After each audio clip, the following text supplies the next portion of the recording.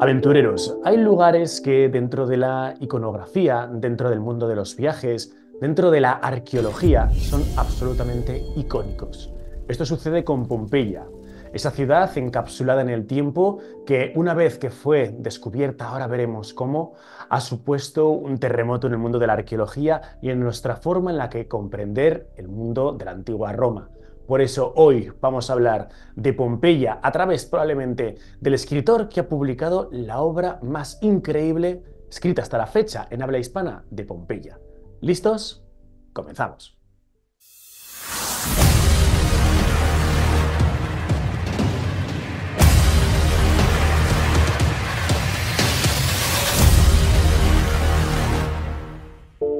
Rubén Montoya, bienvenido a Desafío Viajero. ¿Qué tal? ¿Cómo va eso? Buenos días, muy bien, gracias por invitarme a estar aquí con vosotros. Bueno, Rubén Montoya, profesor asociado, doctor en arqueología, historiador, investigador, apasionado de la antigüedad, que le ha llevado a formarse en España, Reino Unido e Italia en materias como es sobre todo el estudio de la antigua Roma y que acaba de publicar este pedazo de libro, Pompeya, una ciudad romana en 100 objetos. Un libro espectacular que no penséis que es texto, sino que está perfectamente aderezado con imágenes, con fotografías, con, mm, de alguna forma, la representación de lo que nos encontramos hoy cuando viajamos a Pompeya y que a mí me está pareciendo totalmente espectacular. Sobre todo, insisto, a través de el estudio y cómo 100 objetos nos van a llevar a comprender cómo era la antigua Roma, especialmente en Pompeya. Rubén, libro nuevo de Pompeya. Cuéntanos, ¿cómo te ha dado por escribir un libro sobre la ciudad encapsulada en el tiempo? Bueno, pues yo creo que cualquier persona que visita Pompeya al final eh, experimenta y vive esa conexión con el mundo romano. Y como arqueólogo, investigador, desde el primer momento que fui me quedé enamorado de, esta ciudad romana y siempre quise contribuir de manera personal y particular a, lo que era este mundo pompeyano.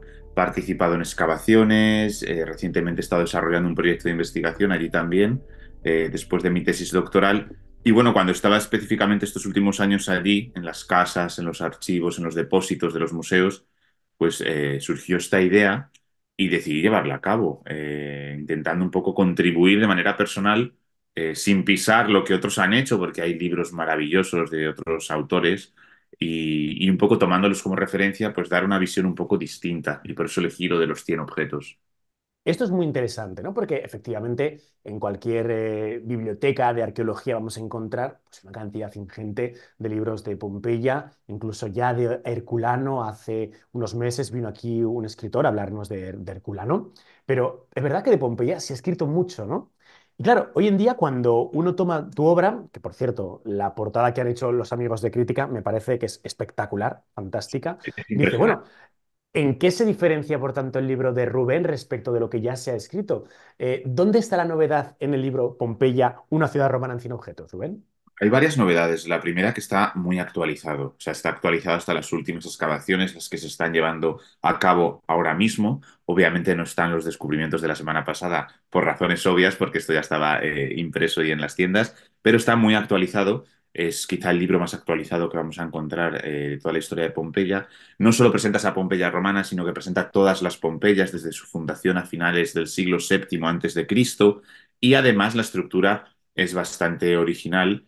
No es novedosa porque hay otros libros a través de objetos, historias generales a través de 100, de 80 objetos, pero sí que es novedosa tanto en cuanto presenta una nueva narrativa temática de la ciudad cogiendo estos objetos como ventanas a distintas facetas de la vida cotidiana y de la historia de Pompeya. Y creo que esto lo hace diferente y especial, lo hace ameno, lo hace ligero también. No hace falta comenzar por el capítulo 1, puedes empezar en mitad del libro y, continuar, siguiendo un poco el interés temático que tenga el lector eh, en cada uno de los aspectos que quiera adentrarse. Y creo que todos estos son pues como toques novedosos que hacen del libro pues una, una nueva aventura, un nuevo viaje a la ciudad. Em, ahora hablaremos de esos últimos descubrimientos que ha habido, ¿no? Porque probablemente el gran terremoto de la arqueología pues, en las últimas semanas han sido estos papiros de, Herculano, que, bueno, pues hay por ahí indicios que nos hablarían de la tumba de Platón, ni más ni menos, ¿no? Pero tú como arqueólogo, esto es algo que a mí siempre me da mucha curiosidad, ¿no? ¿Por qué decidiste hacerte arqueólogo? ¿Esto está relacionado con Indiana Jones o la chispa no tiene nada que ver con eso? No tiene nada que ver. Mira, la chispa tiene que, nos tenemos que ir, como bien digo en el prólogo del libro, a un fin de semana cuando yo tenía siete años. Cerca de mi pueblo está Segóbriga, yo soy manchego, y era común eh, pasar los fines de semana, sábados o domingos, con los abuelos, los tíos y los primos en unas ruinas romanas que había cerca del pueblo, que eran las ruinas de Segóbriga, de la ciudad de Segóbriga. En ese momento ya se sabía que era Segóbriga, yo no tenía ni idea. Yo solo veía ahí un poblado en ruinas, me imaginaba como gladiador, como actor, como político, como sacerdote en las ruinas con mis primos, pero sí que pude conectar con ese, quizás ese toque romántico de imaginar un pasado romano que ya estaba un poco en las películas que podía ver como niño. Y eh, a partir de ahí, pues tuve cierto interés por la historia y cuando me decanté a estudiar historia, no hice ni filología clásica ni arqueología, lo pensé muchísimo, decidí meterme a historia eh, entré en contacto con un proyecto en Pompeya, comencé inmediatamente a colaborar con ellos en la Universidad Complutense y poco a poco, aunque cursé historia, me fui especializando en arqueología clásica y en el mundo antiguo. Luego ya mi Erasmus lo hice en arqueología clásica y ya fui como un poco siguiendo ese camino de la especialización. Pero no sé, yo cuando le pregunto a mis padres o cuando hablo esto con mis padres, pues siempre le digo a mi padre o a mi madre, ¿por qué elegiste a papá o a mamá? Pues al final lo sientes, es como cuando te enamoras de alguien, pues está ahí y por eso hice historia y arqueología. No hay una razón concreta, pero uno lo siente y al final va por ahí. Y creo que es lo bonito, al final cuando miro hacia atrás, poder ver cómo me he ido dedicando o he ido siguiendo un poco eh, esa pasión o ese interés que tenía desde niño y que por ahora continúo alimentándolo. Fíjate, estamos hablando de que tu obra tiene más de 600 páginas, que es, una barbaridad lo, que has escrito, lo que te has documentado, cómo te has informado, pues es que al final tenemos aquí una guía, un compendio total de la antigua Pompeya. Claro, yo lo que me pregunto, fíjate, es que además, pues todas las imágenes que pones en el libro, ¿no? Esto es una, una, una pasada, es em, de toda la exploración, de todos los análisis que has hecho. ¿Has podido llegar a alguna conjetura, alguna conclusión, algún descubrimiento que antes no existía y fruto del estudio que has hecho, dices, yo aporto esto al mundo de la arqueología que nadie había señalado antes? ¿O lo que has hecho ha sido refundir lo que existía previamente para crear tu obra personal? Es un ensayo crítico. Yo no he presentado ningún estudio nuevo. Me he basado en lo que otros investigadores sí que están haciendo a pie de campo, están estudiando y están publicando. Y es un poco también hacer justicia a esta labor común que hacemos en arqueología y en historia. No presento ninguna teoría nueva. Lo que sí que presento son distintas, eh, distintas formas de mirar a la cultura material o distintas ópticas. Y quizá lo más novedoso aquí es hacerlo a través de los ojos de un mismo autor. Normalmente debido a lo especializado que está el mundo de la ciencia, pues publicamos a través de distintos autores temas muy concretos. En este caso, al haber sido yo mismo el que ha revisado todo, sí que presenta una narrativa más eh, unificada, quizá que si este libro lo hubiesen escrito 100 autores distintos, uno para cada, para cada objeto. Pero no es un libro eh, que presente un nuevo estudio científico basado en materiales inéditos. Eh, si pensamos en Pompeya, pues nos dirigimos a las afueras de Nápoles, ¿no? Yo creo que todo el mundo que ha visitado Nápoles ha ido 100% a Pompeya. Eh, creo que tendríamos que dividir Pompeya en dos, ¿no? La Pompeya antes de la erupción del Vesubio y la Pompeya después de la erupción del Vesubio. Eh, ah, nos has contado que efectivamente es que Pompeya se funda en el 7 antes de Cristo, luego est- estamos hablando eh, en el siglo 7 antes de Cristo, luego estamos hablando de 600, 700 años de vida, de cotidianidad y de economía, política, etcétera, que es muy difícil condensar, ¿no? Pero a grandes rasgos, ¿nos podías contar cómo era la vida cotidiana, del tú a tú, de la antigua Pompeya? Pues dependiendo en qué época quieres que nos centremos. Es decir, eh, yo en mi libro presento la Pompeya arcaica, luego la Pompeya samnita y luego ya pasamos a la Pompeya, la que sería la colonia romana. Eh, los datos van cambiando y el lector va a ver cómo para la Pompeya arcaica hay apenas dos, tres capítulos, cuatro, porque las excavaciones no nos han dado más eh, información o más objetos para poder reconstruir todas las facetas de la vida cotidiana. Conforme vamos avanzando en el tiempo a ese momento de la erupción, la Pompeya Samnita, pues tenemos una, una ciudad ya en las órbitas, en contacto con esa ciudad de Roma que está comenzando a crecer en el Mediterráneo, en esas dinámicas ya mediterráneas, comerciales, con un sistema político, por ejemplo, el de la Pompeya Samnita, muy parecido al que luego se va a establecer en época romana, lo que ya nos da las claves de cómo eh, incluso si la Pompeya Samnita no era romana per se, estaba en contacto con las dinámicas de Roma, como todos estos pueblos y todas estas culturas tenían un cierto sustrato similar, porque incluso cuando miramos a la organización política de esta ciudad samnita es muy parecida a la que luego van a instaurar los romanos después. Y cuando ya Pompeya pasa a estar, a estar a englobarse dentro de, de la órbita romana, eh, pasa a ser colonia romana, es cuando más objetos, eh, más información tenemos porque además eh, es la Pompeya que hemos excavado. Nosotros cuando eh, visitamos Pompeya hoy en día, visitamos el nivel del año 79, de ese día de la ujú, erupción. Si nosotros continuásemos hacia abajo, encontraríamos estructuras y restos de siglos anteriores. Esto es como caminar por Segovia, por Toledo o por Madrid, eh, hoy en día, en 2024, eh, por calles que a lo mejor fueron eh, construidas 200 años antes, o ver un palacio de hace 500 años en el centro de Toledo que todavía sigue en pie. Esa es la Pompeya que nosotros visitamos, una Pompeya que aunque estaba en pie en el año 79, en el momento de la erupción, tenía edificios ya desde el siglo II Cristo en pie y uno podría ir viendo un poco esos rasgos de historia a través de todos los aspectos de la ciudad. Entrar en la faceta de la vida cotidiana, si lo queremos hacer en profundidad, es mejor en la época de la colonia romana. De hecho, el libro, si miramos a los capítulos, eh, la parte de la colonia romana va desde el capítulo 15-16 hasta el final del libro. Eh, eso ya nos da un poco los datos sobre la cantidad de información que tenemos sobre una fase y lo poco que sabemos sobre fases anteriores, que todavía sigue eh, desvelándose. Pero eh, cuando entramos o nos metemos de lleno en esa vida cotidiana, vemos una ciudad funcionando mm, completamente con tintes que nos podrían parecer contemporáneos. Debemos separar la distancia temporal y cultural, que todo este- lo que nos separa de la antigua Roma, pero sería una ciudad con panaderías, con bares, con tintorerías, con negocios para blanquear la, ropa, eh, con un centro religioso, con templos, con una plaza pública. Pues un poco como si vamos hoy en día a, a ciudades eh, que todavía mantienen ese toque. Yo normalmente las suelo, las suelo comparar con ciudades que tienen ese toque preindustrial eh, y, podemos un poco observar las dinámicas de, de la población en estos centros urbanos. Algo así es lo que podemos respirar en Pompeya, pero a la romana. Y quizá esto es lo más interesante, que nos ha permitido saber la relación entre todos estos aspectos dentro de un tejido urbano. ¿Era una ciudad importante, Pompeya, en la época clásica? Era una ciudad importante, ahora te daré varios datos, pero era otra ciudad más. Eh, te estoy dando dos respuestas ahora mismo. Era una ciudad portuaria, eh, la costa, tenía un río, tenía doble puerto fluvial y marítimo. En el Golfo de Nápoles, que era muy rico, era un destino muy atractivo, no solo a nivel económico, sino por el ocio, como destino de la élite para el ocio y el esparcimiento.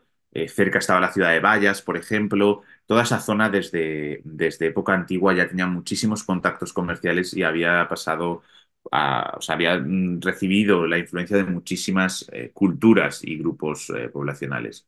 Pero Pompeya, al margen de ser otra ciudad más que hemos tenido la suerte eh, que se ha conservado por esta, por esta catástrofe, sí que sirvió de una especie de laboratorio o de ciudad experimento. ¿Por qué? Porque cuando nosotros observamos la arqueología de la ciudad, vemos, por ejemplo, que cuando Roma, la capital del imperio, construye su primer teatro en piedra, Pompeya ya tenía dos en piedra. Cuando mm, eh, nosotros miramos el anfiteatro de Pompeya, por ejemplo, que se comienza a construir a partir del año 70 antes de Cristo, es el primer anfiteatro en piedra que conozcamos construido en el mundo romano.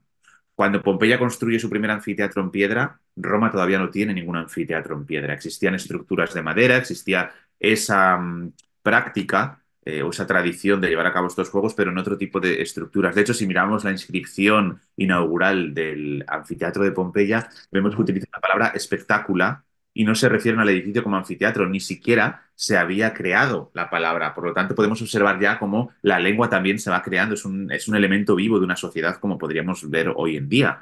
Y en ese sentido, aunque Pompeya era otra ciudad más, sí sirvió de eh, laboratorio, de ciudad experimento para ciertos proyectos. Estaba muy ligada también la élite al emperador. Vemos cómo Marco el Coño Rufo, uno de los mm, políticos más prominentes, eh, ya se está asociando al propio emperador Augusto cuando esta revolución de las imágenes o esta nueva estética iconográfica que se está, eh, que está surgiendo en Roma está en pleno, en está emergiendo en ese, en ese momento. Entonces, aunque es una ciudad más, está muy ligada a Roma e incluso en ciertos momentos sirve para eh, llevar a cabo ciertos experimentos arquitectónicos. Yo cuando eh, reflexiono sobre este aspecto suelo, mm, suelo pensar que quizás esto se debía a que la capital de un imperio emergente como era Roma no permitía a nivel espacial pues, hacer estos experimentos arquitectónicos o este tipo de proyectos y Pompeya, que era una ciudad más pequeña, sí que permitía pues probar a construir un anfiteatro, dos teatros, pero esto es opinión, opinión personal cuando pones a un poco a observar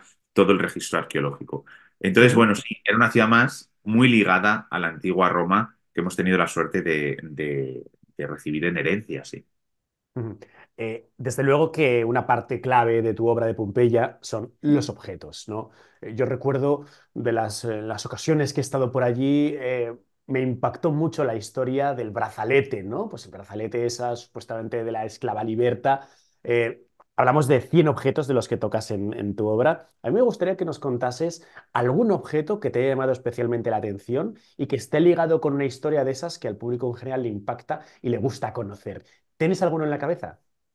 Bueno, tengo, eh, ahora mismo me viene eh, la hogaza de pan carbonizada de la panadería de Modesto, que no tiene una, particularmente una historia que podamos desvelar individual de algún pompeyano, pero es mm. uno de los ejemplares de los más de 81 eh, panes carbonizados que se encontraron en el siglo XIX durante las excavaciones en el horno. Es la última hornada y quizá la más larga de la historia de Pompeya o de la historia de la humanidad, porque el día de la erupción Amanecieron, la ciudad estaba eh, perfectamente en funcionamiento como otros días y los panaderos metieron las hogazas de pan en el horno y nunca más las sacaron, probablemente porque la erupción les pilló desprevenidos.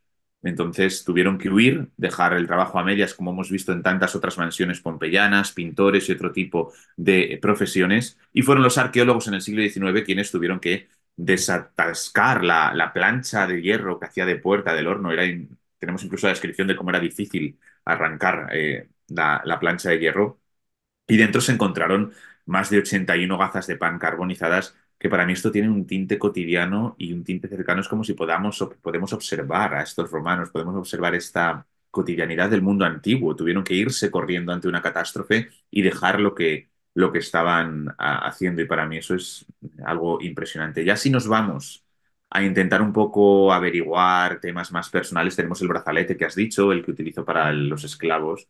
Eh, del señor a su esclava, que ya nos da claves sobre la esclavitud, sobre el orden jerárquico de esta sociedad romana. Y luego, eh, no a través de objetos, bueno, sí, también a través de objetos, el relieve con escena sexual que utilizo para presentar el negocio del cuerpo la prostitución, aunque proviene de un bar, me permite luego eh, analizar toda la evidencia asociada a la prostitución en el lupanar de Pompeya y ahí tenemos inscripciones, grafitos, incluso de prostitutos sea, tenemos datos de cómo si prestamos atención lo suficientemente en detalle a la evidencia arqueológica, podemos averiguar en este caso, que no lo he averiguado yo, pero para mí fue un descubrimiento como una de cada cuatro mujeres era libre. Es decir, no todas las prostitutas eran esclavas, lo que nos hace pensar en qué condiciones de vida o qué nivel tendrían que tener para ejercer la prostitución cuando sabemos que aunque estaba regulada, había un estigma impresionante, estaba muy mal vista. Si tú ejercías la prostitución, eh, la prostituta estaría muy mal vista y, sufriría estigmas. Y además había prostitutos en ese espacio. Estos pequeños detalles eh, nos los da la arqueología o el poder eh, analizar en detalle toda esta evidencia, que no lo he hecho yo, la ha hecho una investigadora anglosajona, pero nos permite ir avanzando poco a poco en este rompecabezas, en este puzzle de, lo que es el mundo antiguo. Y por eso también, volviendo al tema de los objetos, creo que es tan importante revisar y volver a reinterpretar, tratar de llevar a sus contextos originales estos objetos, porque nos abren ventanas a otras realidades y a otras narrativas que nos permiten reflexionar y pensar sobre esta, sobre esta vida cotidiana del mundo antiguo. Eh, has comentado el lupanar, ¿no? El lupanar que rápidamente nos vendría de la palabra lupo, lobo, donde aullan las lobas o algo así, ahora nos contarás. Claro, nos llama mucho la atención cuando estamos en Pompeya, oye, que de repente vemos que alguna de las losas del suelo tienen forma fálica, tienen forma, bueno, de forma de losa, pero, ah, pero hay un- una inscripción de un falo que nos está dirigiendo hacia un lugar concreto, ¿no? Y es verdad que cuando estamos en el lupanar y vemos todas esas pinturas, esas representaciones de posturas sexuales tan evidentes, pues, evi- pues obviamente estamos diciendo, bueno, pues debemos estar en un prostíbulo o algo así, ¿no? Pero claro, ¿cómo llega la arqueología a la conclusión de lo que se hacía ahí? O me, me llama mucho la atención el, con distintos objetos, el poder hilar historias que se, se fraguaban eh, siglos atrás, ¿no? Eh, ¿nos podéis hablar un poco más del lupanar y si esto era un prostíbulo 100% o qué es lo que se hacía ahí? En el caso de Pompeya, es el Ajá, único ejemplo en el mundo romano que tenemos, en el que tenemos un edificio construido para esta finalidad. Sabemos que fue construido con la finalidad de lupanar, de prostíbulo, porque además uno entra y ve un pequeño pasillo con habitaciones a la derecha y a la izquierda, son habitáculos y además todos los habitáculos tienen inscripciones, tenemos mu- muchísimos eh, grafitos en griego, en latín y en osco, de los clientes que iban a tener sexo con las prostitutas, de las prostitutas que dejaban constancia de lo que hacían, de los prostitutos. Todo esto nos da eh, una función clara, que es la de prostíbulos. Si lo unimos a la estructura, que es como una especie de, de habitáculos, como si fuese un prostíbulo con pequeñas habitaciones, eh, ya tenemos otra pieza más para confirmar la función. Si miramos a nuestro alrededor y vemos las pinturas encima de cada estancia, es como una especie de Kama Sutra, son pinturas de contenido sexual que nos están presentando pues, las distintas posturas o los distintos tipos de actos que se estarían llevando a cabo dentro de esas habitaciones o que se podrían estar ofreciendo. Y luego además tenemos, como bien has dicho, un Príapo en el caso de- del prostíbulo de Pompeya también representado, que Príapo es el dios que se asocia a la abundancia, a la riqueza y a la, fertilidad. Y sí que tenemos que matizar que cuando en Pompeya vemos estos penes, esta losa con un pene esculpido, vemos decoración de penes con alas, eh, vemos instrumental de, trabajo y, y un pene, tiene más que ver con eh, una referencia directa a la riqueza que puede traer el trabajo, al buen augurio que eh, a una referencia sexual explícita. Nosotros tenemos que tener en cuenta que estamos juzgando esta evidencia desde nuestra propia realidad y con nuestros propios sesgos. Y nosotros venimos de un contexto cultural cristiano en Occidente en el que todo este tema sexual ha estado muy mal visto, muy mal considerado. Ha habido muchísimo tabú. De hecho, cuando en Pompeya se encontraban estas eh, escenas sexuales, se tapaban y se llevaban al gabinete secreto del Museo Arqueológico de Nápoles. Entonces, no causaría tanto escándalo en época romana y estaría más asociado con la buena suerte, con la protección de los dioses. De hecho, si vamos a la casa de los Beti, tenemos un gran príapo dando la bienvenida con su pene gigante, su falo erecto, que está apoyado sobre una balanza. En un lado está la riqueza y en otro lado eh, el pene del dios, a ver qué pesa más, si la riqueza que está produciendo la familia o el pene del dios Príapo, que es el dios de la abundancia. Tenemos otra panadería en Pompeya con un gran falo y dice aquí habita la felicidad, haciendo referencia a, eh, a- al, pues, la riqueza que puede traer el negocio en este caso. Es una, una referencia al buen augurio. Entonces sí que por un lado tenemos estas referencias explícitas que cuando se une la evidencia nos dan una función clara de prostíbulo como es el de Pompeya. Y por otro lado tenemos estas referencias a, la buena suerte, al, bueno, a la protección, eh, a, la riqueza y a la producción a través de estas eh, representaciones fálicas que no causarían tanto escándalo, serían más eh, parte de la cultura visual del momento, como quien tiene un amuleto, eh, quien lleva amuletos eh, hoy en día. Pero tenemos otros candidatos en Pompeya a espa- espacios que podrían ser lupanares y que no están tan claros, bien porque solo hay una cama, porque es un habitáculo pequeño y ha sido interpretado como un posible lupanar. eh, no lo tenemos tan claro, incluso tenemos tabernas, sabemos por las fuentes clásicas que muchas taberneras ofrecían servicios sexuales y por eso tenían mala fama, hacían de prostitutas. De hecho, el objeto que yo he elegido para, hoy no sé si se ve, lo veis aquí, Se- el sí, sí, se objeto, ve, se ve. el objeto que yo he elegido para abrir el capítulo de, para abrir el capítulo de, del negocio del cuerpo proviene de un bar, de una habitación contigua a una taberna. Eh, un poco para abrir este debate de lo que nos cuentan las fuentes, de que también en los bares se ofrecían servicios de prostitución en algunos, en algunos casos. Entonces, Pompeya es especial porque nos da todas las claves para identificar funciones concretas. Algo que, por ejemplo, si nos vamos a Éfeso, tenemos evidencia de prostitución, pero no está tan clara. No tenemos un edificio como tal conservado donde podamos situar en las camas, en los grafitos, toda la actividad sexual. Bueno, ya la, la verdad es que a todos nos llama mucho la atención, ¿no? Pues ver cómo pues es que en aquella época se hacía exactamente lo mismo que hacemos hoy, ¿no? O vamos al antiguo Egipto y vemos que siempre que observamos esas representaciones de Amón Mig, pues le vemos ahí con el superfalo, o la divinidad de turno, que también tiene una representación fálica tremenda, o nos vamos, por ejemplo, a Baalbek, en Líbano, y en el templo de Baco, pues lo mismo, ¿no? Vemos un templo totalmente cerrado en sus paredes y en su techumbre para que efectivamente el goce y disfrute en honor a la divinidad se ejecutasen en su interior. Luego, es curioso cómo, a pesar de que, pues bueno, estamos en una época mucho más liberal, eh, todavía nos está impactando, pues no me quiero ni imaginar el momento del descubrimiento de Pompeya, que ahora veremos cómo fue. Claro, estábamos hablando de que hay una Pompeya antes y una Pompeya después de la erupción del Vesubio. ¿Es cierto que hay cierta polémica respecto de la fecha en concreto en que se produjo esa erupción? Bueno, la ha habido durante muchísimo tiempo porque nosotros teníamos dos cartas de Plinio el Joven que escribe, a Tácito, creo que son 14 años después de la erupción, y era es un testimonio muy dramático que yo invito a todos los que nos estén viendo y escuchando a leer estas dos cartas. En la oscuridad se oían los lamentos de las mujeres los llantos de los niños, los gritos de los hombres. Algunos suplicaban ayuda a los dioses, otros les suplicaban directamente la muerte, pero eran los más, los que creían que los dioses habían desaparecido y que el universo se había sumido en la más profunda de las tinieblas. Aventureros, bienvenidos a Pompeya. Es muy dramático porque nos cuenta con detalle cómo eh, el día se hizo noche, nos cuenta esa erupción, cómo la, visualizó, la, vivió él.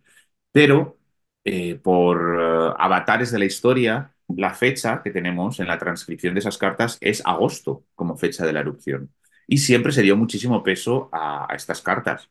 ¿Qué pasa? Que cuando uno comienza a excavar en Pompeya, y este debate viene ya de lejos, se encontraban braseros en medio de los patios y en algunas estancias. ¿Cómo es posible que en agosto haya braseros encendidos con restos de combustión? Se encontraban nueces, se encontraban piñones, se encontraban frutos que son más típicos ya de otoño.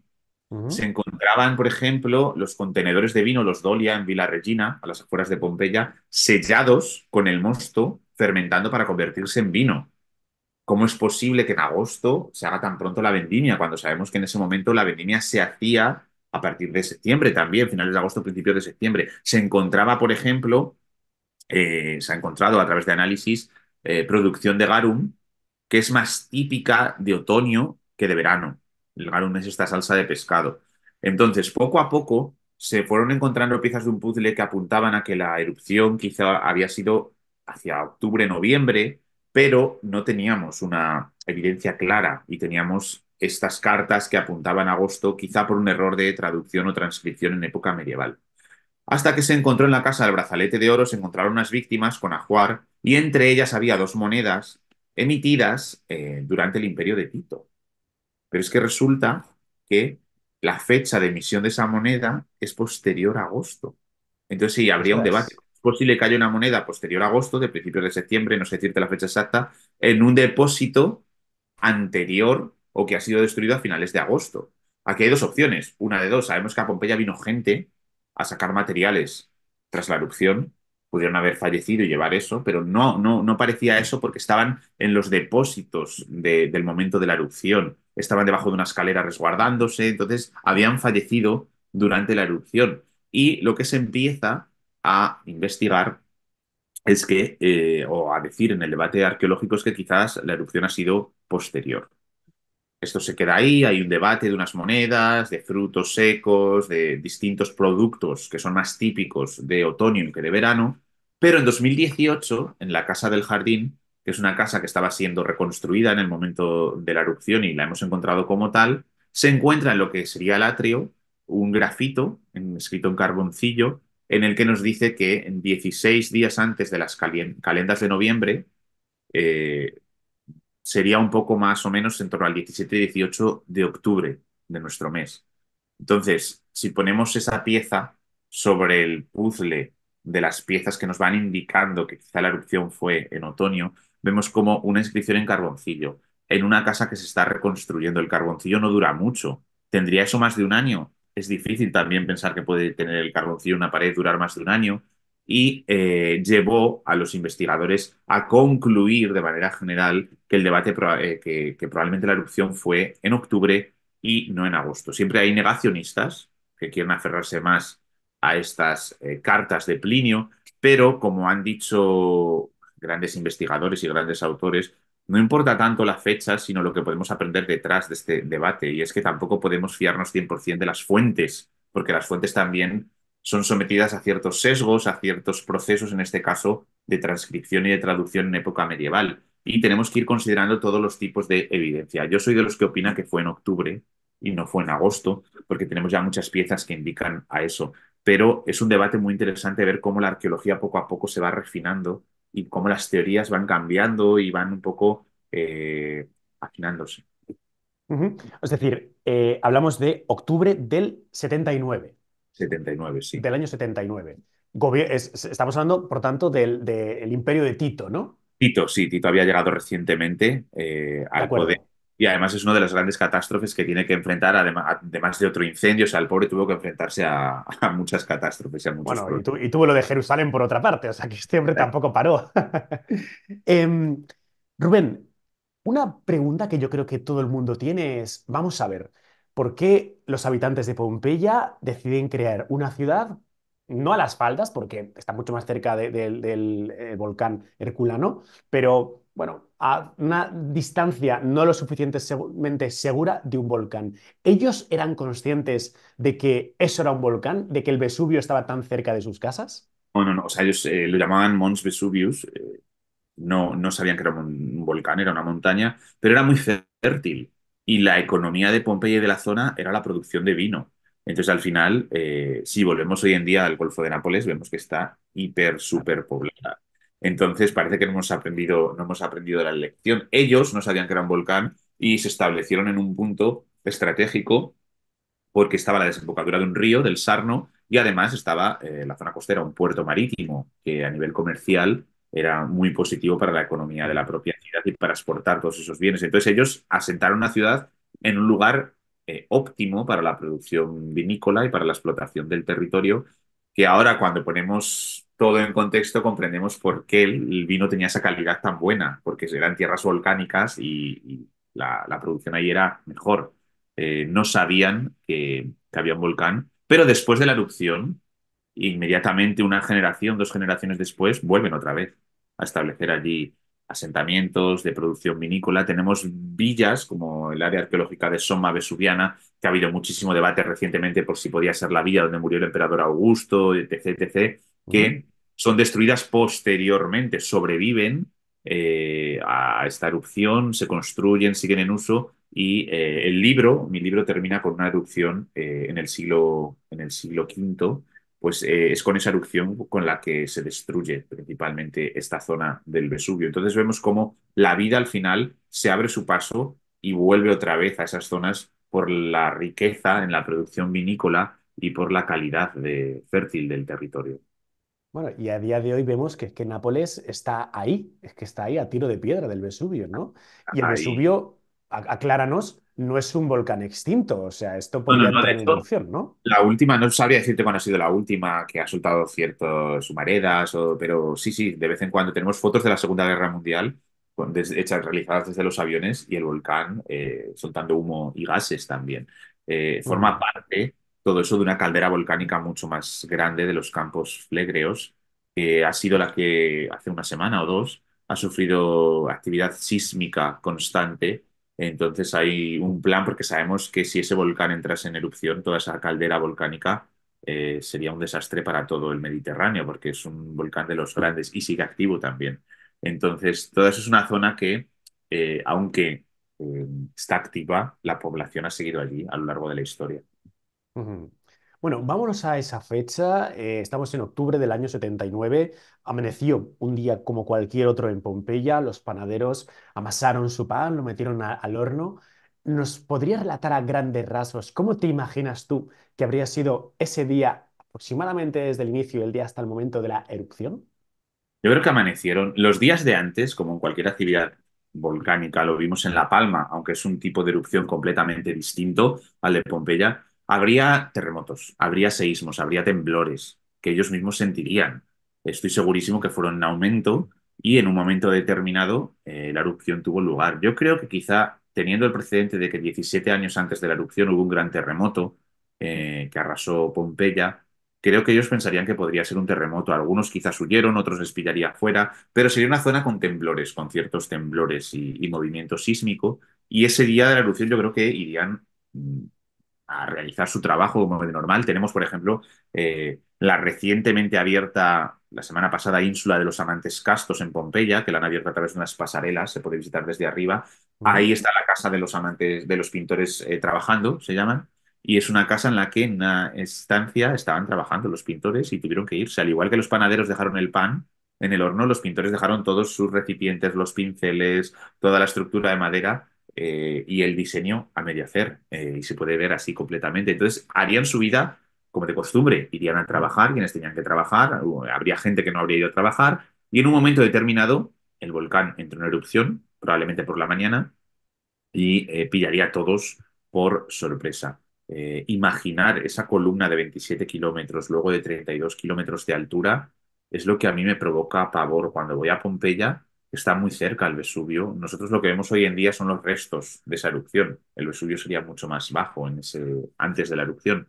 Pero ver ese espectáculo de la naturaleza que tenemos, tenemos muchísima documentación gráfica de otras erupciones para poder imaginarlo. Y yo invito al, a quien nos esté escuchando, a quien nos esté viendo, a que lo haga, imaginar lo desastroso que tuvo que ser y el impacto de verlo cerca, eh, con los gases, el humo, todo bajando por la ladera del volcán, sería algo aterrador y luego sabemos que inmediatamente empezó a llover piedra pome, ceniza, empezaron a caer bombas volcánicas por los vientos que iban hacia el sur.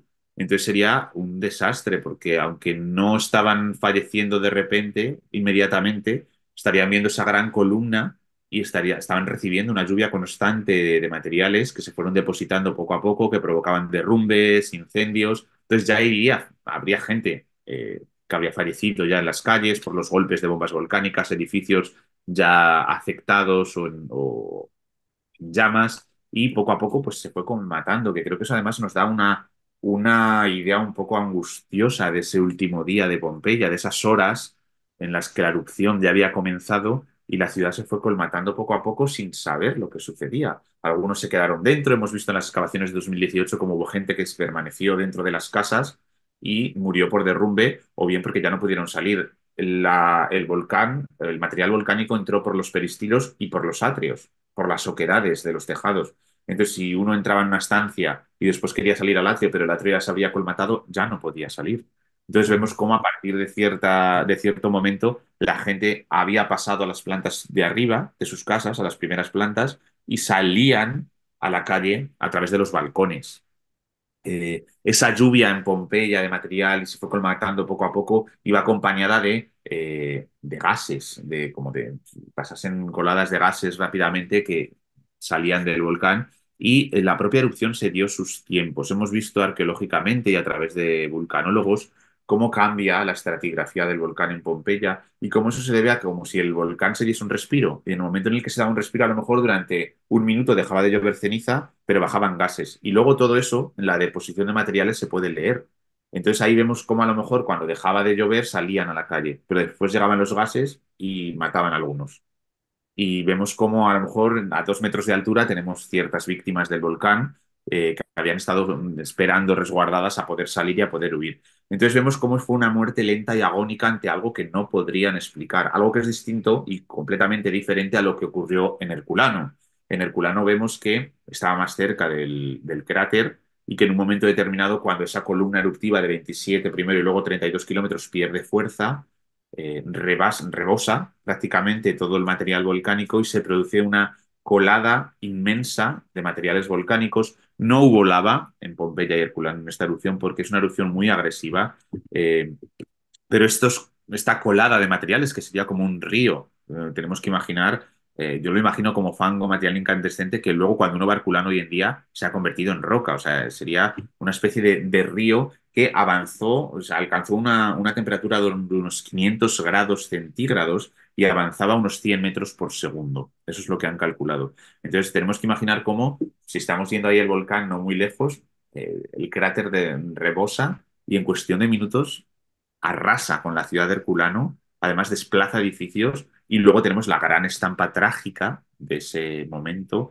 en el que todos mueren en la playa. En un sector excavado de la playa se han encontrado más de 340 individuos amontonados intentando huir, refugiándose en los soportales del puerto y de la playa de Herculano en este sector. Entonces, eh, vemos cómo hay distintas estampas trágicas de este, de este fenómeno que ellos mismos ni siquiera eh, podrían comprender. Todos llevaban sus objetos, algunos llevaban instrumental de, de trabajo, me sale en italiano, de laboro, eh, de trabajo, otros tenían monedas, joyas, cogieron lo que pensaban que necesitarían, bien antes de volver, porque muchos de ellos pensaron que quizás, yo creo que pensarían que volverían y finalmente se dieron cuenta que, que sería imposible en esa huida agónica. Duró unas más de 24 horas fueron muriendo a distintos, eh, en distintos momentos, eh, lo voy explicando en el libro, y finalmente al día siguiente, el día 25, en torno a mediodía, ya estaría todo completamente arrasado. Herculano habría desaparecido bajo 25-30 metros de este material volcánico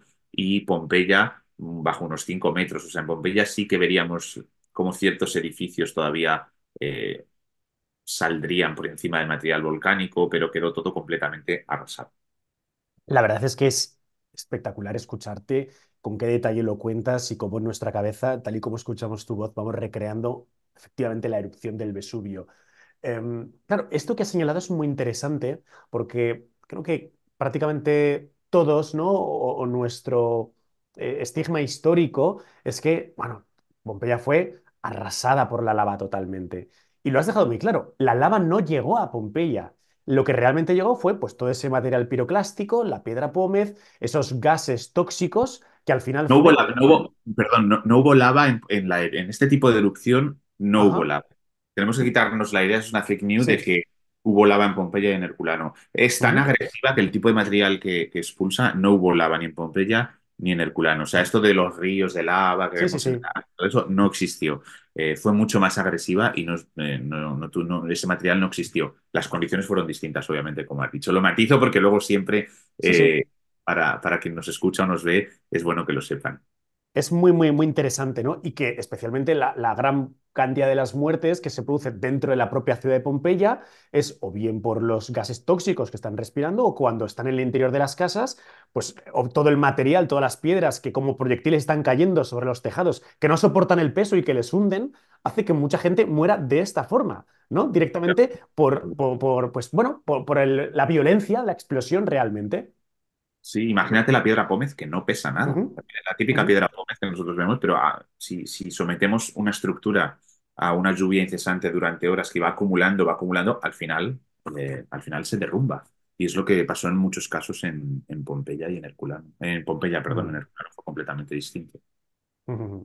Bueno, Año 79 ya tenemos Herculano totalmente cubierto, eh, Pompeya prácticamente lo mismo, ¿no? Indicas que pues, se podría ver la parte superior de algunos de los edificios, pero vemos que, primero, para los arqueólogos, para los historiadores, es el gran caramelo, porque al final estamos hablando de eh, un libro prácticamente mm, recién abierto para que todos lo podáis leer, para que todos lo podáis eh, estudiar, a diferencia de si hoy en día pues vamos al foro romano tenemos que echarle mucha imaginación en Roma, pero es que en Pompeya lo vemos todo exactamente tal y como quedó, ¿no? Es una cápsula del tiempo cerrada. Casi, ah. casi, casi del tiempo. Es otro falso mito. Vale, cuéntanos esto, cuéntanos esto. Al final, o sea, después de esta erupción hemos visto que no fue instantáneo. Mm, a lo largo de 24 horas tenemos gente huyendo de derrumbes. La imagen que nosotros vemos es una, además, eh, encontramos plantas bajas de edificios lo que vemos en el registro arqueológico en una habitación no solo es lo que había en la planta baja, es lo que ha caído de encima también. Había primera y segunda planta. Entonces no es una cápsula del tiempo, no se quedó todo congelado en el tiempo como tal. Eh, además, luego, después de la erupción, como he dicho, se verían o se intuirían ciertas partes de la ciudad y sabemos que Tito envió una misión de rescate y que la zona sirvió como punto de extracción de materiales. De hecho, cuando nosotros en las excavaciones hemos ido al foro, no hay esculturas en el foro falta muchísimo mármol en el foro. ¿Por qué? Porque probablemente los propios romanos se lo llevaron los meses después de la erupción, porque sabían dónde estaba el foro y en una plaza pública es donde tienes los mejores materiales. Entonces, sí que esa falsa premisa pompeyana que llamamos los arqueólogos, hay que matizarla siempre porque eh, no está parada en el tiempo como si de repente todos hubiesen quedado parados y podemos observarlo tal y como era. Podemos acercarnos muchísimo a esa realidad, pero sufrió muchos cambios incluso después de la erupción eh, tenemos inscripciones en casas en las que no hay nada de material y pone que la casa ya ha sido revisada en latín. Probablemente esas inscripciones sean de cuando después de la erupción los propios romanos iban a sacar materiales. Entonces, vale. sí que nos sirve como libro para sumergirnos en este mundo antiguo, porque no tenemos otros casos similares, pero hay que matizar que no estaba, no es exacto y no es 100% como lo eh, encontramos. Encontramos el, la erupción, pero también lo que ha sucedido en algunos momentos y en algunos espacios después. Claro, lo que es lógico es que si al final se acaba descubriendo Pompeya, es porque Pompeya, de alguna manera, pasa al olvido, ¿no? Eh, ¿Podrías contarnos cómo se descubre Pompeya y cuándo se descubre? Pues Pompeya se descubre 10 años después de Herculano. Primero se descubre Herculano, que es esta ciudad la que es más arrasada bajo 25-30 metros de, esta colada volcánica, y se construye por casualidad cuando están realizando un pozo. ¿En qué época estamos, para que quede claro? 738. Nuestro Carlos III de Borbón está realizando, en ese momento es Carlos VII de Nápoles, está realizando un palacio, manda a Roque Joaquín de Alcubierre, aragonés, por si hay alguien que nos esté escuchando, eh, que es ingeniero, y eh, manda, manda a Roque Joaquín de Alcubierre a que vea desde dónde se pueden sacar agua para el palacio, para el complejo del palacio, en los terrenos del palacio, y le dicen que en un pozo años antes un príncipe austríaco ha encontrado unas esculturas, unas estatuas. Entonces Roque Joaquín de Alcubierre, como sabe que Carlos, nuestro Carlos III, eh, es un amante de, las antigüedades, le viene ya de sangre real, por toda la colección Farnese, eh, bueno, pues pide permiso, desciende y se da cuenta que aquello no solo son algunas esculturas, que están ante eh, una ciudad romana o un edificio romano y sabían que aquello era el Vesubio por toponimia y probablemente están ante alguna de estas ciudades que ha sido arrasadas y de las que solo tenían dos cartas, las de Plinio el Joven. Entonces, en ese momento pide permiso, empiezan a excavar a través de túneles y poco a poco se dan cuenta que no es un templo, que es un teatro, después descubren que es el Teatro de Herculano, se confirma eh, la sospecha de que es una de estas ciudades. Y tenemos que imaginar que esa revolución cultural que sucede en 1738 con todo lo que se va descubriendo en Herculano a través de túneles, provocó que se hiciesen otros sondeos en distintas zonas. Descubrimos en, a partir de 1750 la Villa de los Papiros, cerca de Herculano. Eh, pero en 1748 intentando hacer sondeos en la zona, se dan cuenta de que en un punto concreto llamado en un paraje La Chivitá, que ya la toponimia nos hace, eh, nos hace pensar que podía haber algo, había como restos de algunos muros y se decía que allí se había podido encontrar algo y efectivamente excavan y se encuentran con restos romanos, que es más fácil excavar porque está bajo 5 metros, 7 metros, pero es piedra pómez que se puede remover muy fácilmente y se dan cuenta de que están ante otra ciudad. No saben cuál es, en 1748. De hecho, se piensa que es Estavia, que es otra de las localidades enterradas eh, y destruidas durante la erupción. Y no es hasta 1762 o 63 cuando se descubre la inscripción que ya nombra la ciudad como Pompeya. Entonces, se descubre en un momento de revolución cultural en la que se están intentando encontrar todas estas localidades porque son conscientes del potencial que esto tiene como para el patrocinio eh, real. De hecho, Carlos III se le considera el rey arqueólogo y, la empresa cultural que inició fue única eh, porque permitió el redescubrimiento y un poco asentar las bases de lo que revolucionó la arqueología clásica. Bueno, ya ves, ¿no? Y por supuesto que uno de esos eh, grandes mitos, ¿no? ya que estamos desmitificando algunos de los aspectos de Pompeya que todos hemos creído como ciertos muchas veces, es que esas figuras petrificadas que vemos en Pompeya es porque los cuerpos quedaron petrificados tal cual. Y nada más lejos de la realidad, ¿no, eh, Rubén? Nada más lejos de la realidad. Eh, falleció solo un 10% como dato, se estima un 90% pudo huir o sobrevivió. luego hubo refugiados, desplazados. Pero de estos que fallecieron, nosotros encontramos eh, los esqueletos. De hecho, si uno mira el archivo fotográfico del parque arqueológico, se pueden ver los restos de las víctimas tal y como se van encontrando. ¿Qué ocurre? Que en algunos casos se encuentra una oquedad entre el acumulo de material volcánico y los huesos. Cuando desaparece o se desintegra la materia orgánica, lo que serían los músculos, la carne, esos milímetros que quedan llevó a los arqueólogos eh, ya desde el siglo XVIII, pero eh, a intentar un poco inyectar materiales para ver si podían sacar calcos. Lo consiguieron con muebles, con puertas, con algunos animales y plantas, hasta que en febrero de 1863, el 15 de febrero, Giuseppe Fiorelli anuncia que ha conseguido hacer los calcos, en realidad medio calco, eh, fue el primero que se hizo, de una de las víctimas encontradas el 3 de febrero, unos días antes, a unos 4 o 5 metros de altura. Estos murieron casi al final de la erupción, porque estaban sobre 4 metros Claro, de, de material claro. intentando huir.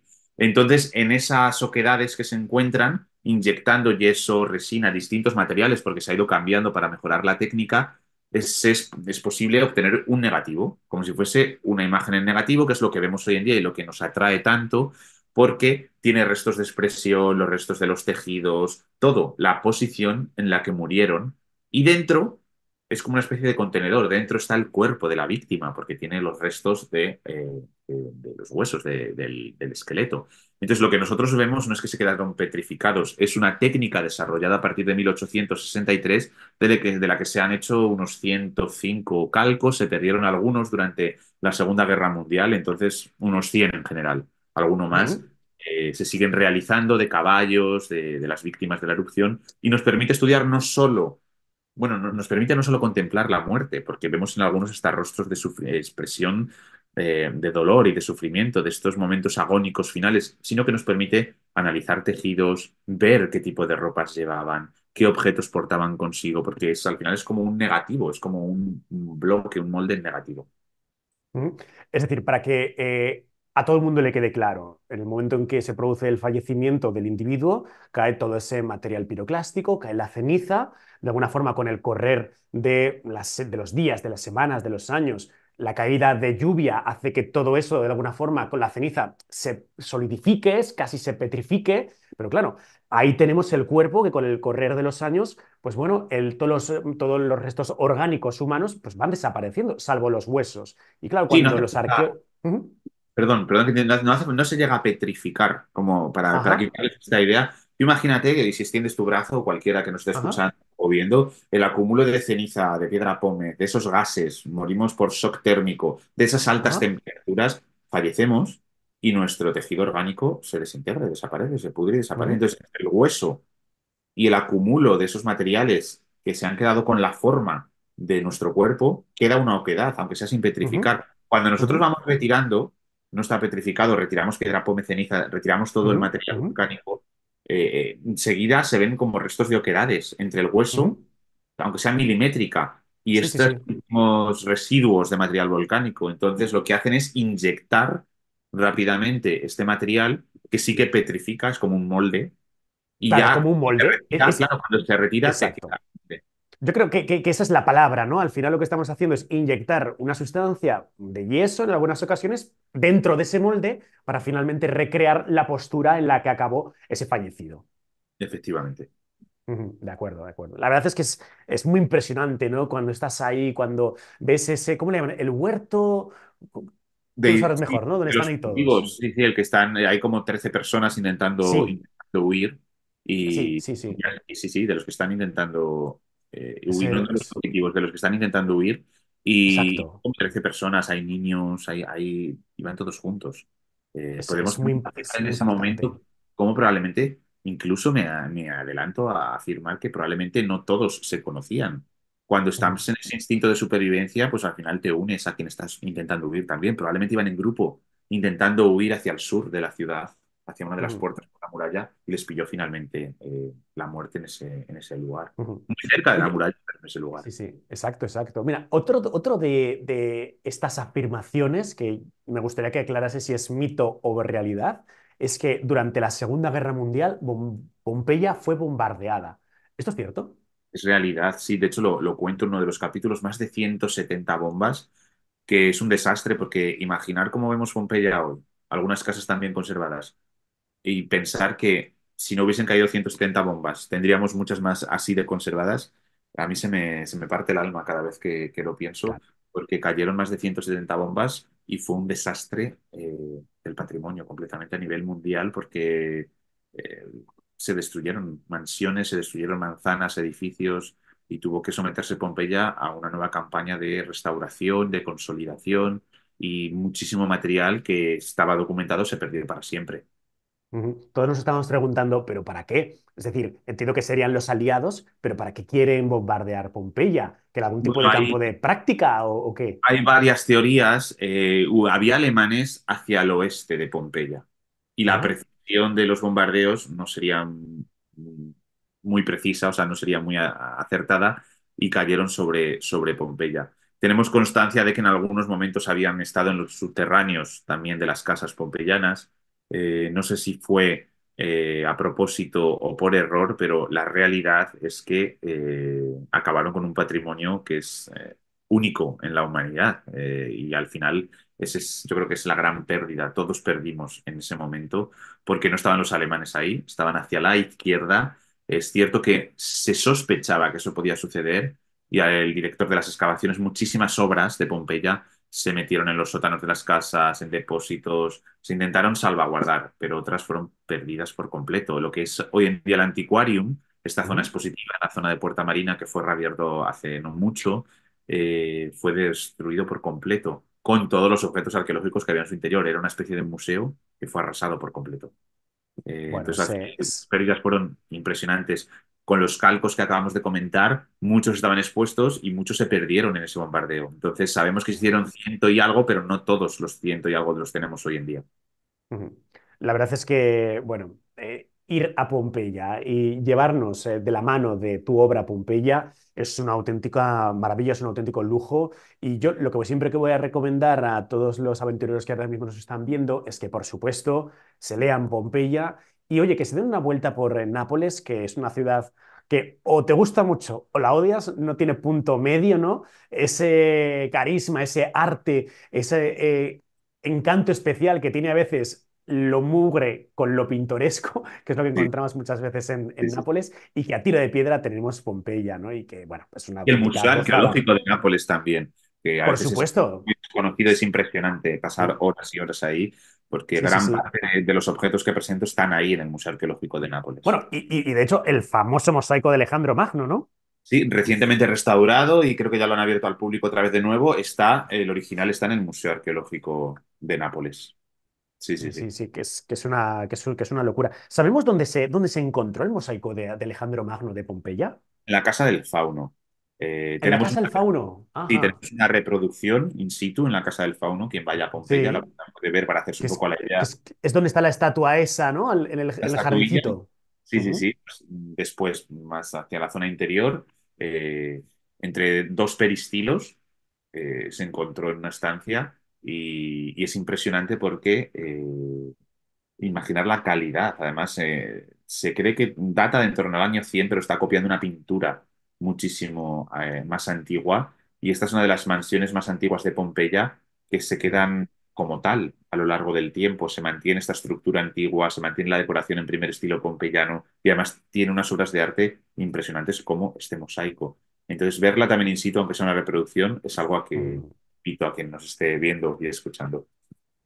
Además, en el Museo de Arqueología tenemos una maqueta impresionante de Pompeya para hacernos a la idea de lo que estamos viendo, ¿no? Que ahí vemos las proporciones realmente de la ciudad e impresiona cuando lo ves a visto de pájaro con esa super maqueta, ¿no? Y además, efectivamente, y además, si el visitante se fija bien, tiene hasta los colores. Y hoy en día, sobre todo después de ese bombardeo, muchísima documentación de casas que fueron bombardeadas la podemos obtener a través de esta maqueta, mm. porque es realista hasta en el tipo de decoración quien la realizó se puso a poner los tipos de decoración y escenas que había en cada casa, en cada habitación.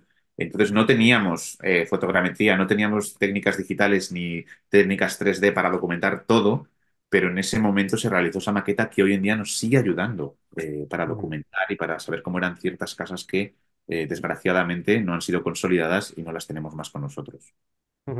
Mira, una cosa que me impresionado mucho cuando hemos empezado a hablar de tu obra de Pompeya es que es el libro más actualizado que existe ahora mismo de los descubrimientos que se van realizando en Pompeya. Pero lo cierto es que tenemos últimas noticias en el siglo XXI del siglo I. Es decir, todavía se siguen haciendo descubrimientos en Pompeya y sobre todo descubrimientos que vemos que pueden suponer pues, eh, una innovación extrema en lo que respecta a, la, historia de la arqueología. ¿no? Tenemos dos que últimamente han sido muy sonados a mí me gustaría que empezásemos, pues el que a mí me ha parecido brutal, que es ese los papiros de Herculano y la posible tumba de Platón. ¿Nos podrías contar a grandes rasgos cómo que la tumba de Platón y qué tiene que ver esto con los alrededores de Pompeya? Pues mira, vámonos a 1750, a esa década, Ajá. no en fechas específicas, cuando te he dicho que se van haciendo ciertos sondeos. eh, se ha descubierto Pompeya en Herculano desde 1738, ya se están haciendo excavaciones por túneles, pero de manera fortuita en otro pozo, cerca de- de- del Teatro de Herculano, se encuentran restos de eh, papiros carbonizados, rollos de papiros carbonizados, esculturas y mármoles, de una calidad única, los mármoles y las esculturas, y empiezan a excavar y se dan cuenta que están en- ante una residencia impresionante que estaría a pie de costa, con una extensión de más de 250 metros, con un mirador sobre el mar, un gran peristilo, una colección de casi hasta 90 esculturas en bronce y mármol, la mayor encontrada hasta el momento, y eh, unas pinturas únicas. Pero de todo esto, aunque tuvo un impacto impresionante en interiorismo y en arte romano, nos vamos a quedar con los papiros carbonizados, porque eh, acaban de encontrarse no intacta, pero sí la primera biblioteca del mundo antiguo en ese estado de conservación. Sabíamos que la Biblioteca de Alejandría eh, se había perdido por completo con sus obras, tendríamos restos de lo que podían ser otras bibliotecas, tendríamos muchísima documentación a través de fuentes, pero estábamos por primera vez ante un archivo privado con eh, rollos de papiro carbonizados. Inmediatamente, un monje piarista, creo que es Antonio Piaggio, eh, no lo sé muy bien, puedo estar equivocando, pero creo que es Piaggio, eh, desarrolló una máquina que se puede observar en el Museo Arqueológico de Nápoles, que consistía en desenrollar estos papiros. Lo que pasa que los rompía, porque estaban carbonizados. Era una máquina muy lenta que poco a poco iba desenrollando y los iba como cogiendo con pinzas y con gasas, como si de repente los trocitos los vas poniendo para poder leer lo que había. Estos más de 1800 papiros nos han dado obras impresionantes, en su mayor parte en griego, por no decir la totalidad, la mayoría en griego, algunos en latín, y pertenecientes a Filodemo de Gadara. Eh, es un seguidor de Zenón, que estaba en la zona de Nápoles, que se cree que murió en Herculano en torno al 34 a.C. y que probablemente estuviese estrechamente ligado al propietario de la villa, que se cree que era el suegro de Julio César. Entonces, viene otra vez a esto de Pompeya era especial, era una ciudad más en la que, que tenía muchas conexiones con Roma y con los grandes personajes también de, la historia romana.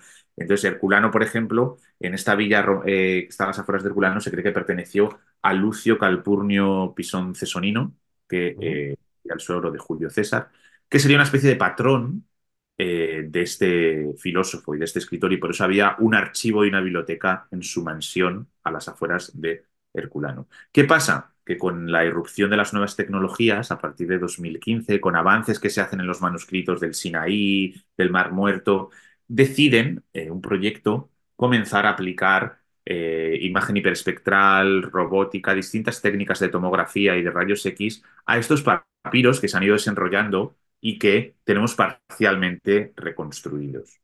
Entonces, eh, aplicando todas estas técnicas, un profesor, eh, Ranuccia creo que es el apellido, eh, ujú. italiano, proyecto internacional, es capaz de leer un 30% más de lo que se había leído de un papiro de 1991. Esto es posible porque las nuevas técnicas de imagen digital nos permite ya diferenciar dónde está el trazo de la tinta y separarlo del fondo carbonizado, algo que antes éramos incapaces de hacer. Entonces, simplemente con eso tenemos más de mil palabras nuevas, un 30% más en uno de los papiros que nos ha llevado a identificar el lugar exacto donde habría estado enterrado Platón en un jardín privado de la Academia en Atenas, cerca del el Museion o el templo dedicado a las musas. Este dato tan concreto lo tenemos gracias a que hemos podido averiguar un 30% más, pero esto no es lo único. Habréis escuchado y habréis visto, eh, tanto tú como quienes nos estén viendo y escuchando, el Vesuvius Challenge, que es una iniciativa internacional también lanzada en 2023 por la Universidad de Kentucky, en la que ya es estas técnicas digitales llevadas al máximo, porque es inteligencia artificial y robótica, no solo para leer estos papiros ya desenrollados, sino para ser capaz de desenrollarlos sin tocarlos. Y se ha conseguido. En cuestión de un año hemos avanzado mm, sobremanera porque hemos sido capaces a través de unos ejemplares de unos papiros que estaban en París, si no recuerdo mal, en un archivo, se ha podido desenrollar digitalmente el papiro haciendo rayos X y se ha podido identificar también los rastros de tinta y reconstruir todo. Entonces, aplicando técnicas de imagen hiperespectral, robótica, inteligencia artificial, han podido identificar la primera letra, que es púrpura, se ha podido traducir, y después el siguiente paso ha sido coger un texto de ese papiro eh, casi completo y ahora la idea es aplicarlo a más papiros y traducir o transcribir lo que está ahí escrito para descifrar nuevas obras, porque tenemos más de 600 papiros todavía que están sin desenrollar y muchísimos otros que están todavía bajo el material volcánico esperando ser descubiertos en esa mansión, porque se sospecha que hay una biblioteca en latín. Las separaban, había una zona para griego y otra zona en latín que no se ha encontrado. Entonces, eso es impresionante porque en cuestión de unos años, sobre todo de un año, hemos avanzado y hemos revolucionado la arqueología clásica, además, de una manera única a través de la inteligencia artificial y de la robótica, uniendo Es, fuerzas todas es las disciplinas. increíble. Es increíble, ¿no? El conseguir a través de la inteligencia artificial saber lo que ocurrió en el pasado. Y bueno, yo nunca había oído esto de poder desenrollar un pergamino a través de un escáner y que una inteligencia artificial nos indique qué es lo que hay en su interior sin siquiera desenrollarlo, que es que me parece algo tremendamente innovador, ¿no? Bueno, lo que todo el mundo ahora Y mismo, además, sí. Ah. Sí, además necesitamos, lo bueno de esto es que necesitamos el ojo humano. Este debate de que si nos van a quitar el trabajo nos está permitiendo hacer avances, pero la inteligencia artificial nos da datos, nos da patrones, nos da elementos que luego eh, papirólogos, filólogos, arqueólogos, historiadores tienen que identificar. Eh, necesitamos un filólogo que sepa identificar qué está, cuáles son los caracteres griegos o, o que dé sentido a todos esos datos y sus patrones para elaborar el texto. Y luego necesitamos a alguien que lo traduzca y lo identifique. Entonces, aunque nos está permitiendo avanzar, eh, nos está también enseñando que es necesaria la conjunción entre tecnología y pensamiento crítico humano. Ah, es, es- es impresionante. Claro, eh, yo mientras estabas hablando pensaba, bueno, si ahí dice dónde está la tumba de Platón y estamos hablando de la Academia de Atenas, hoy sabemos dónde está la Academia de Atenas, ¿se han puesto ya a, a excavar por ahí? Eh, pues mira, eso no lo he mirado. Eh, tendremos la zona, si quieres hacemos otro específicamente sobre Atenas, otro, Sí, otra entrevista en algún momento, Bueno, pero no me gusta pillarme, no me gusta pillarme los dedos, o sea, lo voy a mirar. Mira, vamos a hacer una cosa. A partir de esto, si quieres, vamos a hacer uno sobre Atenas. Me comprometo a mirarlo bien y, y- y hacemos algo sobre excavaciones actuales en Atenas, si quieres, porque no lo sé exactamente en si hay eh, idea de hacerlo o sé que ha habido crítica, porque hay autores que dicen que no nos tenemos que fiar de un dato, de un texto, porque ese texto fue escrito a través de sesgos personales del propio Filo, Filodemo de Gadara. Pero ya tenemos un dato más que no teníamos hasta el momento. Bueno, es, es interesantísimo. Bueno, y una noticia que ha sido, pues bueno, estamos hablando de máxima actualidad, algo recién salido prácticamente del horno, nunca mejor dicho, cuando hablamos de los panes, y es que se ha descubierto una sala con las paredes azules nueva en Pompeya. Me gustaría, eh, no sé si has tenido la oportunidad de, de poder echar un vistazo a qué es lo que ha ocurrido, pero ¿por qué esta novedad? Claro, uno piensa, bueno, pues de Pompeya ya se habrán entrado en todas las salas, en todos los edificios, ¿no? Pero de repente siguen No, apareciendo cosas nuevas. sí, sí, tenemos un tercio sin excavar en Pompeya. Hay una política de proteger y de consolidar de cara al futuro. Y es dentro de esta política donde se están consolidando y perfilando todo lo que serían las zonas no excavadas. Eh, durante muchísimos años hubo muchos problemas por filtraciones de agua, por lluvias, por derrumbes, porque al final una zona no excavada, de una estructura excavada, si no se, soli- si no se consolida, provoca derrumbes. Entonces, lo que se lleva haciendo desde 2018 es perfilar todas las zonas, esos límites entre zonas excavadas y no excavadas, que llegan a tener hasta 4 o 5 metros de altura de diferencia, para que no haya derrumbes. Pero para consolidar tienes que excavar. Esas lenguas de terreno que salen tienes que excavar para consolidarlas. En algunos momentos se eliminan por completo, como sucedió en la región quinta, la Casa del Jardín, que por eso se excavó casi al completo. Y ahora en la región 9, Insula 10, se está perfilando esa zona también y ha llevado a eh, adentrarnos en dos mansiones de las que teníamos la fachada y a seguir investigando y descubrir una tercera. Eh, la utilización en común de ciertos canales y estructuras ha llevado a sugerir, porque estamos moviéndonos en, en- en el ámbito de la hipótesis todavía, que toda la manzana podría pertenecer a una misma familia o a personas que estuviesen relacionadas. Se llevan haciendo un montón de descubrimientos desde el salón con pinturas negras, con escenas eh, asociadas al ciclo troyano de pintura, hasta el más reciente, muy cerquita de este salón negro, eh, la sala pintada en azul que ha sido identificada como Sacrarium. Todas estas habitaciones pertenecerían a esa tercera vivienda o ese tercer edificio en la zona interior que se está excavando del que nos van a dar muchísimas más sorpresas pronto. Se está excavando ahora un complejo termal asociado a esta, a esta mansión o a este edificio. Y lo interesante es que está pintado en azul. El azul no es un color muy común en pintura pompeyana porque era muy caro de conseguir. Lo tenemos en algunas habitaciones, en algunas estancias. Eh, y en este caso, en este cuarto estilo pompeyano de los últimos años de la erupción, se decidió eh, pintar una sala casi completamente en azul, alternándolo con rojos. Además, se han encontrado restos de lo que podría ser cultura material o objetos del uso funcional, de la funcionalidad inicial de la estancia. Se piensa que era un sacrarium, pero no había esculturas en los nichos y nada, están los nichos, también en las paredes para las estatuillas de, de las divinidades. Pero, como sabemos, Pompeya era una ciudad en obra, sin reconstrucción. Se han encontrado ánforas amontonadas y los restos de ostras, después de haber sido consumidas, que se picaban para realizar mortero y otros, otros materiales de construcción. Y vemos cómo, aunque en su momento esta habitación fue un sacrarium, o pudo ser un sacrarium, es la, la identificación del parque arqueológico, justo el día de la erupción, pues era una habitación que estaba sin utilizarse como sacrarium, en la que se estaban eh, almacenando ánforas y otro tipo de elementos, que había restos de del propio material de la construcción y de las remodelaciones que estaban haciendo en ese bloque y es impresionante por la calidad de la conservación y por el realismo de, las pinturas y los detalles que tiene además. Si uno observa esa habitación y se aleja un poco, no está en persona, pero a través de las fotografías, vemos cómo el detalle del rojo de los nichos coincide con las pinturas rojas de la, de, la estancia que da acceso a este sacrarium. Por lo tanto, nos habla de un programa decorativo unificado, que era lo que también solían hacer, planificar la decoración de la casa en conjunto. Eh, es como si hoy en día pensamos cómo vamos a pintar cada estancia de nuestra casa siguiendo un programa decorativo, ciertos patrones. Wow, la verdad es que es impresionante, qué bonito, ¿no? Y sobre todo qué alucinante que a día de hoy se sigan realizando descubrimientos en Pompeya y que Rubén Montoya nos cuente esto y mucho más en Pompeya, la historia de la ciudad en 100 objetos de crítica. Una obra, bueno, es que yo os enseño otra vez la portada porque es que me parece precioso el trabajo que han hecho los amigos de Editorial Crítica. Y sobre todo por dentro, ¿no? Que a lo mejor leerte un tocho de Pompeya así a saco puede ser muy tedioso, oye, pero es que en prácticamente cada dos, tres páginas tenemos eh, fotografías eh, de, los, de las pinturas, de los objetos, de todo lo que hayamos en el interior de Pompeya y que hace que la lectura pues sea maravillosa, ¿no? Pues los detalles de las casas, lo vemos absolutamente todo. O sea que felicidades de verdad, eh, Rubén, porque has escrito una obra fundamental para entender la ciudad de Pompeya, la historia de una de las eh, civilizaciones de la, cultura que al final, eh, de la cual hemos bebido todos los que ahora mismo estamos aquí. Así que te deseo mucho, mucho, mucho éxito con esta obra y aventureros, por supuesto, que os voy a dejar el enlace donde podéis haceros con el libro de Pompeya de Rubén Montoya.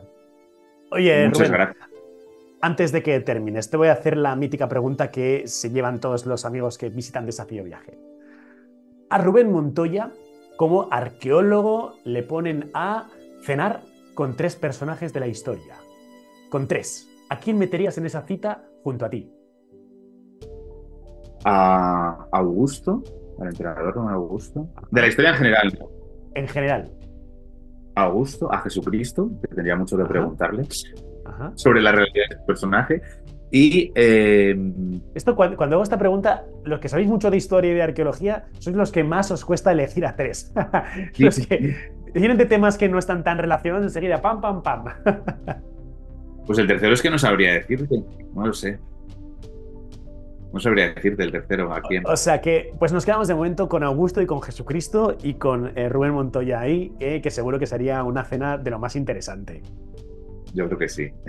Muy bien, muy bien. Pues nada, Rubén, que te dejo las, las últimas palabras para ti y para que te despidas. Bueno, pues gracias a los oyentes, a los que nos estén escuchando, a los que nos estén viendo. Eh, gracias por darle una oportunidad a este libro, que no sé si lo veis aquí, perdón por la cámara.